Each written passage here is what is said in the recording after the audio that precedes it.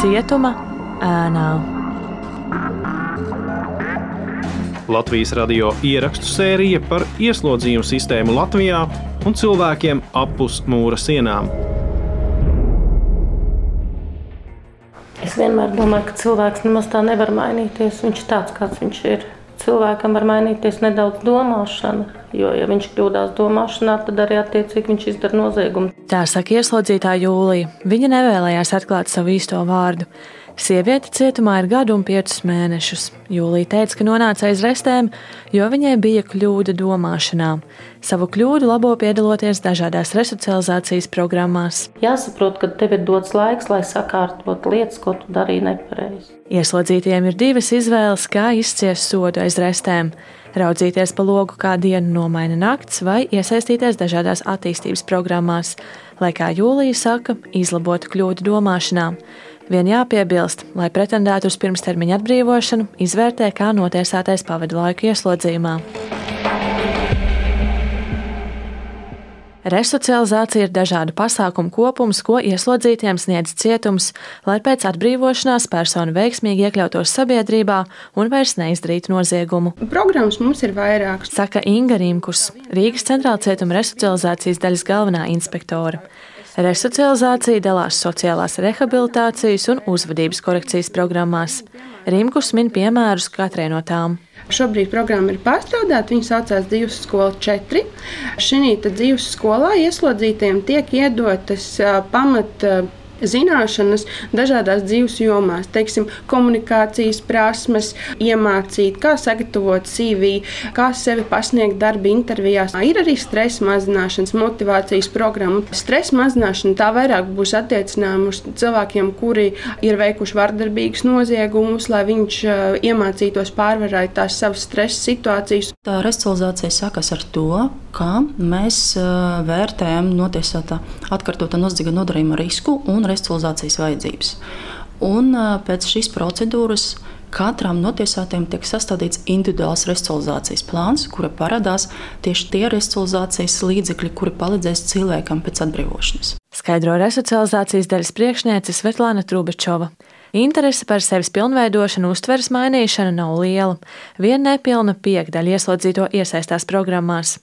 Pagājušajā gadā tajās iesaistījās vismazāk ieslodzīto - 79, jo pandēmijas dēļ dažādas programmas tika pārtrauktas.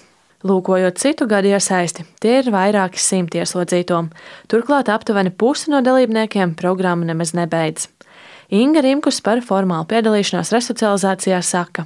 Arī, ja sākotnēji tas ir ķeksījuši pēc kaut kādā momentā, jau notiek tas klikšķis. Cilvēks arī sakot, es jau to daru tikai ķeksīšu pēc, tā ir aizsardzība. Īstenībā jau viņš no tā procesa tāpat tās kaut ko iegūst. Atrodoties cietumā, ieslodzītie var mācīties gan vispārējā izglītībā, gan pat augstskolās tālmācībām. Pagājušajā mācību gadā deviņi ieslodzītie iesaistījās augstākās izglītības apguvē, un otrajā pusgadā 12 personas turpināja uzsāktās mācības. Pērni ieslodzītie studēja piemēram tieslietas, būvzinības, māksliniecības, biznesa psiholoģiju, sabiedriskās attiecības, teoloģiju un vēl citas zinātnes. Cietumā vēl var apgūt profesiju, piemēram, mācīties par frizieri, šuvēju, elektromontieri, apgādes darbu strādnieku, pavāru palīgu un iegūt vēl citas profesijas. Tāpat vienas no ieslodzīto tiesībām ir būt nodarbinātam. Pagājušajā gadā trešdaļa no notiesātajiem strādāja, vairums pie komersanta, atlikusī daļa saimnieciskajā apkalpē. Notiesātie, kas izcieš sodu atklātajos cietumos, var iet uz darbu ārpus tā. Pērn vienam notiesātajam vidējais mēneša atalgojums pēc nodokļu nomaksas bija nepilni 80 eiro.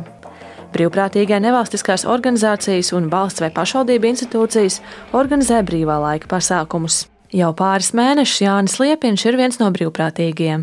Viņš ir palīdzējis ģimenes dienu pasākumā, kad ieslodzīties attiekas ar saviem tuviniekiem. Jānis sieviešu cietumā ik nedēļu vada sporta nodarbības, kā arī organizē ieslodzīto sporta pasākumu salgriežos. Pieņēma lēmumu, ka ir kāda zināšana bagāža uzkrāta iespējams šai dzīvē, kur būtu vērtīgi padalīties. Man eh, ļoti patīk tā doma, ka es noteikti sev kaimiņos vēlētos eh, redzēt cilvēku, kurš atbrīvojās no ieslodzījumiem, kas ir eh, saticies ar cilvēkiem no brīvības, kas ir darbojies, apguvis kādu profesiju, mācījies kādus kursos, vienmēr sakot, socializējies cilvēks, kas ir cilvēks. Nevis cilvēks, kurš desmit gadus nav redzējis neko ja, no šīs pasaules, un kam vienkārši viņš iznāk ārā un viņš ir eh, nobijies un agresīvs. Pirms septiņiem gadiem pētījumā secināts, ka pusi ieslodzīto, kas izcieta visu brīvības atņemšanas termiņu, pēc atbrīvošanās divu gadu laikā atkal nonāca aiz restēm. Savukārt tās personas, kas atstāja cietumu pirms termiņa beigām, vien 27% atkārtoti nonāca ieslodzījumā. Jāteic, ka, piemēram, Norvēģijā bijušie ieslodzītie daudz retāk atgriežas cietumā. Tā ir aptuveni piekdaļa. Trubačova no ieslodzījuma vietu pārvaldes skaidro, ka Norvēģa veiksmes atslēga ir labāka cietuma infrastruktūra. Nepavēlti mūsu sistēmā mēs vairākus gadus runājam par to, ka mums ir nepieciešams jauns cietums, jo mēs ļoti labi apzināmies, ka tas mums ir nepieciešams, lai pirmām kārtām nodrošinātu darbiniekiem normālu darba vidi, gan arī mūsu klientiem normālu cieņpilnu vidi, kur viņi uzturās un kur mēs varētu tiešām īstenot visus restorācijas līdzekļus tā, kā viņus īsteno arī ārvalstīs. Otrs, protams, sociālais atbalsts ir savādāks Norvēģijā. Arī sabiedrība ir aktīvāka restorācijas procesa Arī Latvijas radio bija Norvēģijā. Tur Bredvetas sieviešu cietumā sodu izcieš Nīna. Ieslodzījumā viņa ir desmit gadus, priekšā vēl divi. Par savu pārkāpumu sieviete nevēlas runāt. Nīna atklāja, ka piedalīsies vairākās resocializācijas programmās. Sweden, my, um, Zviedrijā, kuras pavadīju pirmos septiņus sava termiņa gadus, bija iespējams piedalīties kognitīvās uzvedības terapijas programmā. Es centos mācīties, kā kontrolēt sevi, sevišķi savus impulsus, jo es esmu nedaudz karstgalvīga.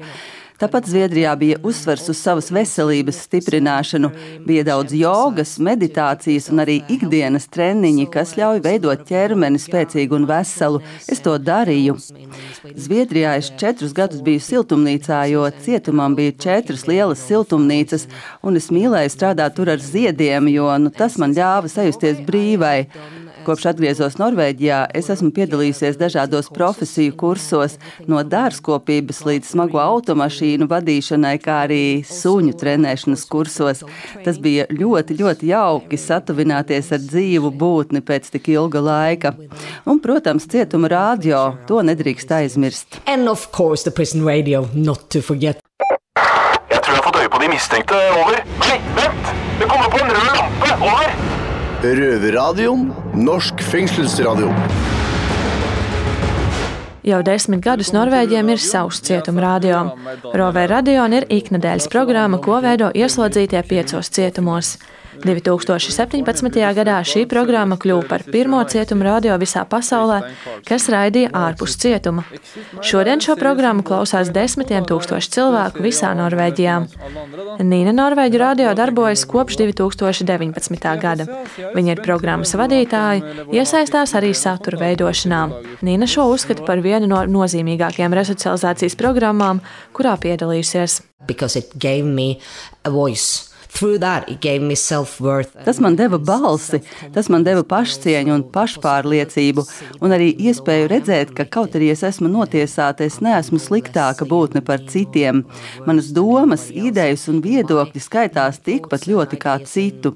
To ir viegli aizmirst, kad esi cietumā, jo ir varas dalījums, ir cilvēki uniformās un ir ieslodzītie. Tur nav nekā kopīga. Viņu vārds skaitās, mans vārds ne.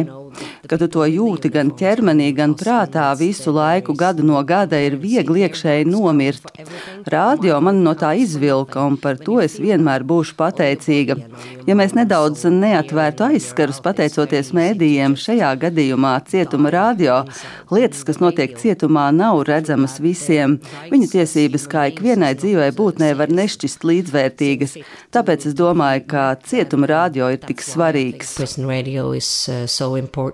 Cietuma radio nevien dod iespēju paust viedokli ieslodzītajiem, bet arī stāst un skaidro par noziedzību un tiesu sistēmu. Nīna uzskata, ka radio ir nepieciešams ikvienā valstī, jo tas palīdz aizpildīt plājušas starp ieslodzītajiem un sabiedrību otru pusi cietuma sienām. Latvijā šāda cietuma radio nav, un nekas neliecina par to, ka šāds projekts varētu būt. Resocializācija nedrīkst beigties līdz ar notiesātā atgriešanos sabiedrībā. Procesam ir jāturpinās un tajā ir jāiesaistās visai sabiedrībai. Norvēģiem daudz veiksmīgāk izdodas ieslodzīto resocializēt, jo, kā viņi paši atzīst, cietuma sistēma ir tāda, kāda ir sabiedrība. Ja sabiedrība nevēlēsies pieņemt bijušo ieslodzīto, mazināt viņa atgriešanos aiz restēm būs arvien sarežģītāk. Linda Spundiņa, Latvijas Radio.